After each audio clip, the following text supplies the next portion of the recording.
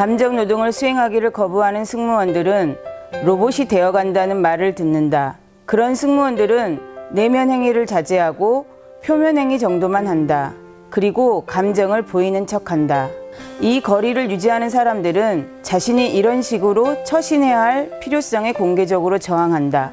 저는 로봇이 아닙니다. 라는 말은 저는 그런 척은 하겠지만 제가 그런 척 연기하고 있다는 사실을 숨기려고 애쓰지는 않겠습니다. 라는 뜻이다.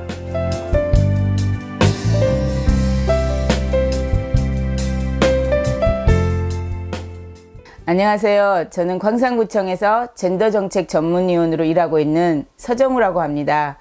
저는 성평등 정책을 만들거나 사업 담당자들에게 성인지 감수성을 반영할 수 있도록 해서 구민이 체감하는 정책을 만드는데 주력하고 있습니다.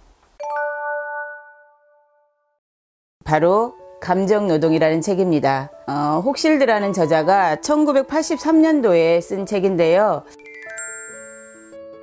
20대였고 연구자로서 혈기왕성하게 이론서를 읽었던 때죠. 그리고 한창 여성학 공부에 푹 빠져 있을 때예요.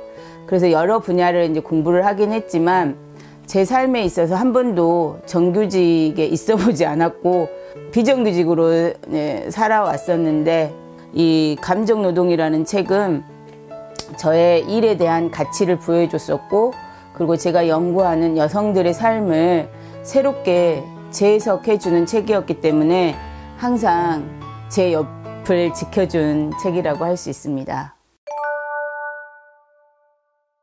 감정노동 이 책이 나옴으로써 기존의 여성들이 해왔던 일에 대해서 노동이라는 명칭을 쓰게 됐거든요. 그래서 가사노동, 돌봄노동, 창의노동 이렇게 여러 가지 기존의 노동으로 얘기되지 않았던 부분에 대해서 노동이라는 개념이 생기면서 남성 중심적 노동의 혁신적인 전환을 가져온 책이라는 점에서 지금도 의미가 있는 것 같습니다. 특히 이 책에서는 감정의 상품화라는 개념이 나오는데요. 그 전에 이 책을 접하기 전에는 상품화라는 것은 비판받아야 되고 지향되어야 된다는 가치관이 저한테 뿌리박혀 있었었는데 실은 자본은 어떤 것도 다 자본화하는 그런 현실에서 왜 감정은 감정이 상품화되는 것에 대해서 사람들은 음, 꺼려하는 것일까 이런 생각을 했었거든요. 근데 실제로 노동시장에서 자기가 인, 음, 보수를 받고 임금 노동을 하기 위해서 하는 행동이 모두가 어떻게 보면 상품화거든요. 근데 유독 감정만이 상품화되는 부분에 대해서는 우리가 많이 꺼려하고 비판받아왔죠.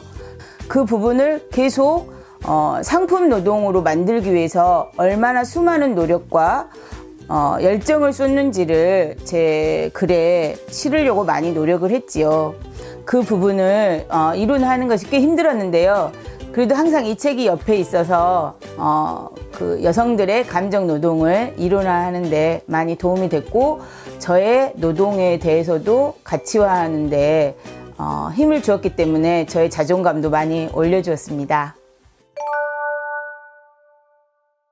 노동 개념의 여성주의적 가치를 이론화했고 내 삶에는 여성의 자존감을 불어넣어준 책입니다. 네, 제가 다음 주자로 추천하고 싶은 분은 인권지기 활짝의 박수경 쌤입니다. 요즘 가장 제가 되게 탐색해 보고 싶은 한 사람이거든요. 릴레이 주자를 추천해 달라고 했을 때 가장 먼저 떠오른 분입니다.